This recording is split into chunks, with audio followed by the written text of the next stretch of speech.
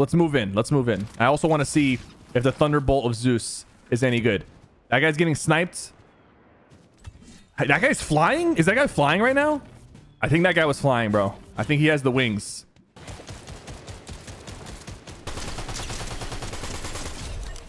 This guy's bringing me the wings. He's bringing me the wings, bro. How do I use these things? I don't even know how to use them. Hold up, hold up, hold up. These are the wings of Icarus. All right. Do I just jump and fly? Ho! Yo! Oh! All right. That's going to be something I got to get used to using, huh?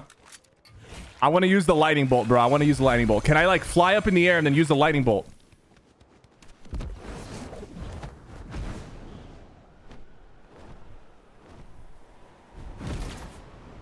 I'm crashing into him?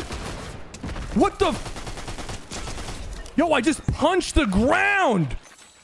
Okay, it seems like there's like different move sets while you're in the air. And what's the cooldown on this? All right, shift boost. Space is to ascend, to go higher. Dodge roll left and right.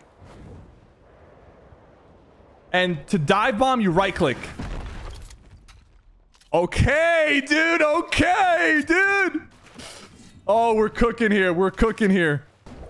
Bro, I'm literally flying around in Fortnite. Like, thi- this is crazy. All right, boost.